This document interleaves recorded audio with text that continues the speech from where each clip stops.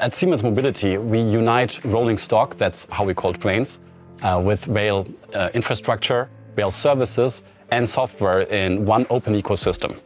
And our customers typically include uh, public transport operators, uh, but also other providers of mobility. We believe that um, for uh, AI, uh, Amazon Bedrock offers a um, robust and future-proof solution to make these advancements. One project that we are working on is for a customer called Rhein-Main Verkehrsverbund, RMV. Um, their apps, RMV Plus and RMV Go, generate roughly 3.5 million requests per day. This solution of RMV utilizes pseudonymized user requests together with a self-learning algorithm uh, to predict the future occupancy levels of public transport.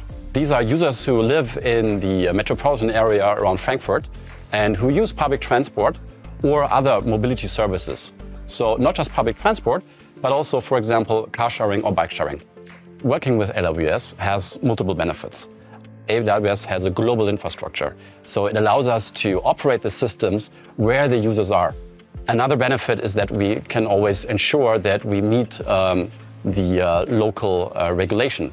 On a typical day, we process hundreds of millions of travel information requests on AWS for our customers and we can run the infrastructure quite efficiently.